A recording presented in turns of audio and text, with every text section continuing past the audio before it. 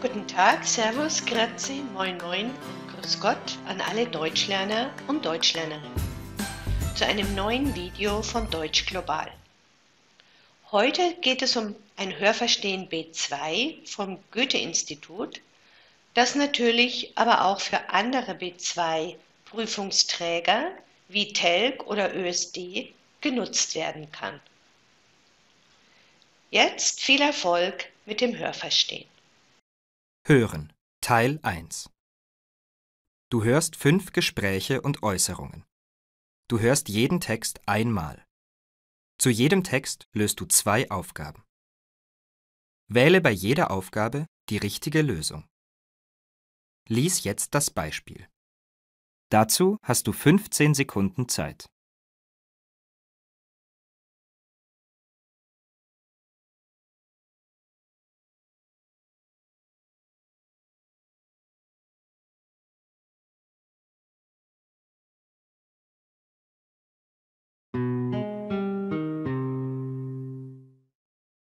Mein letzter Sommerjob war echt gut. Ich habe sechs Wochen als Briefträgerin in meinem Viertel gearbeitet. Die meiste Zeit allein, mit dem Fahrrad. Die Kollegen sieht man nur morgens, aber da bin ich noch zu müde zum Quatschen. Draußen unterwegs zu sein ist eine echte Wohltat nach dem Stress in der Schule. Endlich viel Bewegung und wenig Denken. Außerdem habe ich nette Leute kennengelernt. Einige haben mir sogar ein Trinkgeld gegeben. Das konnte ich bei der schlechten Bezahlung gut gebrauchen.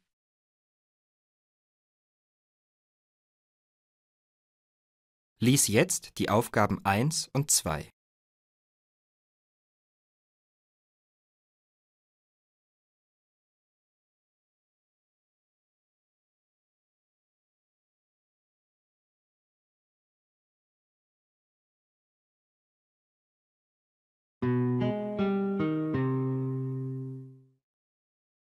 Hey, wie war's am Wochenende auf dem Festival? Schade, dass du nicht mit dürftest.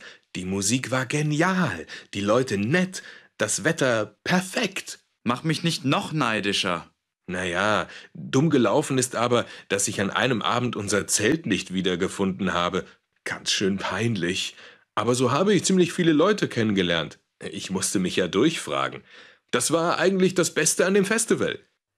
Ey, nächstes Mal kommst du aber mit. Klar, meine Eltern werden das nächste Mal hoffentlich nichts dagegen.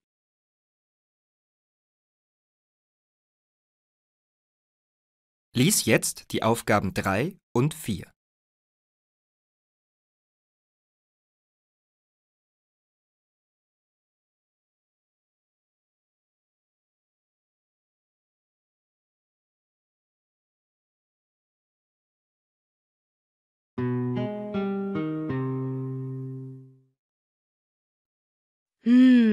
Pommes sind echt gut. Aber leider machen sie auch dick. Also zumindest, wenn man sie zu oft isst. Meine Mutter sagt immer, Kind, du wirst doch krank von dem billigen Fastfood. Probier mal Obst oder rohes Gemüse. Iss mal einen Salat. Okay, auch das schmeckt ja einigermaßen. Aber wenn ich mit meinen Freundinnen nach der Schule durch die Stadt laufe, dann kaufe ich mir manchmal eben doch eine Tüte Pommes. Das muss ab und zu einfach sein.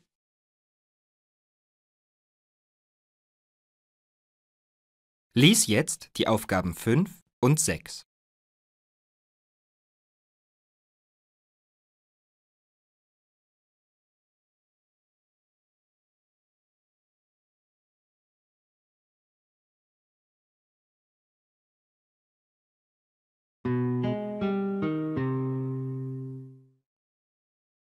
Wir haben gestern einen Klassenausflug gemacht. Ins Museum. Wie langweilig. Bestimmt habt ihr hunderte von alten Bildern ansehen müssen. Nein, so schlimm war es nicht. Wir haben eine Ausstellung über die Römer gesehen. Da haben die im Museum eine römische Wohnung nachgebaut und wir konnten sehen, wie es früher ausgesehen hat. Das war super interessant. Echt? Unser Klassenlehrer geht mit uns nie in so interessante Ausstellungen. Schade. Was halt nicht so toll ist, wir müssen jetzt Referate schreiben über die Römerzeit.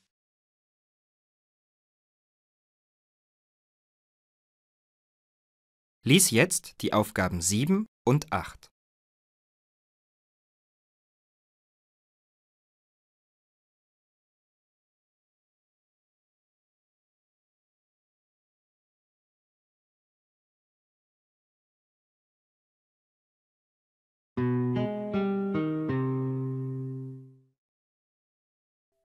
Hey Martin, warst du schon in dem neuen Blog von Stefan? Nee, ich habe noch nicht reingeguckt. Was gibt es da? Der hat voll coole Videos von Live-Auftritten seiner Lieblingsbands hochgeladen. Dazu schreibt er dann etwas über diese Konzerte. Ist echt gut gemacht. Da kriegst du die neuesten Infos zu den Bands und die besten Live-Szenen. Und eine Menge Leute antworten dann und schreiben ihre eigene Meinung dazu. Echt professionell. Hätte ich ihm gar nicht zugetraut.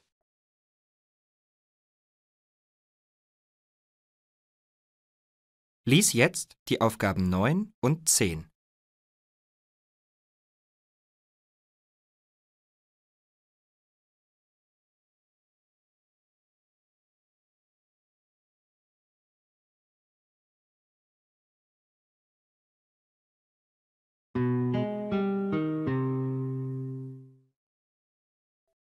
Also das nächste Mal suche ich mir die Projektgruppe nach den anderen Teilnehmern aus, nicht nach dem Thema. Wenn man das vorher immer wüsste. Schließlich musste man ja nicht einmal etwas vorbereiten, sondern nur mit Spaß dabei sein. Aber das wollten sie wohl nicht. Stimmt. Deswegen verstehe ich noch weniger, warum die anderen überhaupt in unserer Gruppe waren. Da hätten sie lieber zu Hause bleiben sollen. Und wegen ihnen ist jetzt aus unserem Projekt nichts geworden.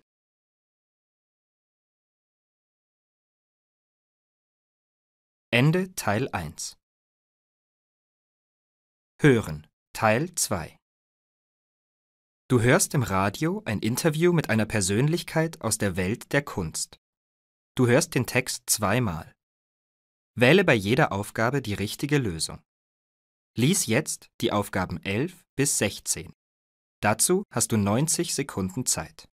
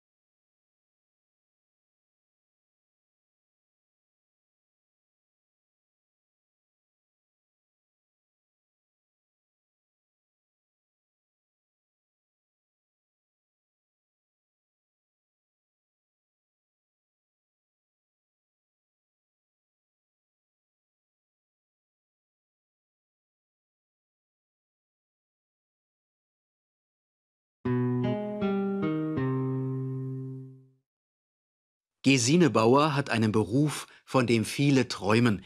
Sie ist Schauspielerin. Wie man dahin kommt, sein Geld auf Theaterbühnen und vor Fernsehkameras zu verdienen, das erzählt sie uns nun. Hallo Gesine. Hallo. Gesine, für viele junge Leute hast du einen Traumberuf. Wie wird man denn Schauspielerin? Ja, es gibt da natürlich viele Wege. Ich habe den klassischen Weg über eine Schauspielschule gewählt. Es war unheimlich schwer, einen Studienplatz zu bekommen, denn von den über tausend Bewerbern aus meinem Jahrgang wurden nur zwölf angenommen. Und wo wird dann entschieden, wer Schauspieler wird und wer nicht? Also, das passiert beim Vorsprechen, bei der zentralen Bühnen- und Fernsehvermittlung. Das ist quasi das Arbeitsamt für Schauspieler. Hier spricht man seine über Wochen und Monate einstudierten Rollen auf einer Bühne vor. Im Publikum sind Produzenten, Agenten und Regisseure, die sich nach jungen Nachwuchsschauspielern umschauen. Warum wolltest du früher eigentlich nicht zum Theater? Puh, ich dachte damals, das Theater engt mich zu sehr ein. Also, das Theater ist wie eine Fabrik. Du musst erstmal mit den Leuten arbeiten, für die du eingeteilt wirst, und einfach alles spielen. Selbst kannst du anfangs wenig entscheiden. Ich wollte frei sein und hatte das Gefühl, das Theater sei altmodisch und verstaubt und einfach nicht der richtige Weg für mich. Doch jetzt weiß ich, es gibt am Theater auch ganz viele tolle Sachen. Was ist der Vorteil des Theaters gegenüber einer Rolle beim Film? Ja, nun, beim Theater hat man Zeit. Es ist toll, dass man wochenlang gemeinsam proben kann. Ich beschäftige mich gerne über viele Wochen mit einem Stoff und spreche darüber mit den Kollegen. Hinzu kommen die Nähe zum Publikum und die Vorstellung auf der Bühne. Das ist eine ganz andere Erfahrung, als vor der Kamera zu stehen. Beim Film schätze ich die Schnelligkeit und die Disziplin, mit der ein Projekt abgedreht werden muss. Wie kommst du an deine Rollen? Wie die meisten Schauspieler habe ich eine Agentur, über die die Rollenanfragen laufen. Natürlich kann man auch auf Partys gehen, in der Hoffnung, Aufmerksamkeit zu erwecken und wichtige Leute kennenzulernen.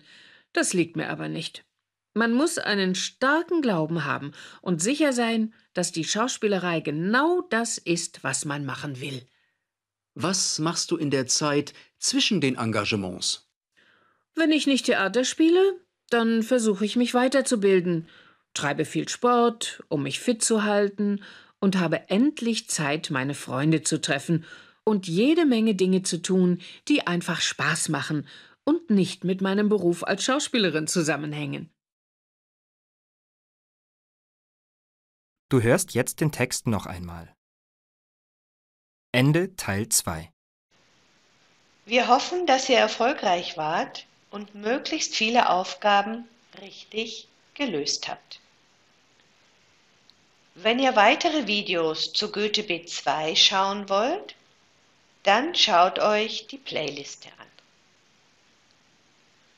Von uns war es das dann wieder und wir verabschieden uns von euch wie immer mit einem Tschüss, Servus, Baba, auf Wiederlürge, macht's gut, euer Deutsch Global Team.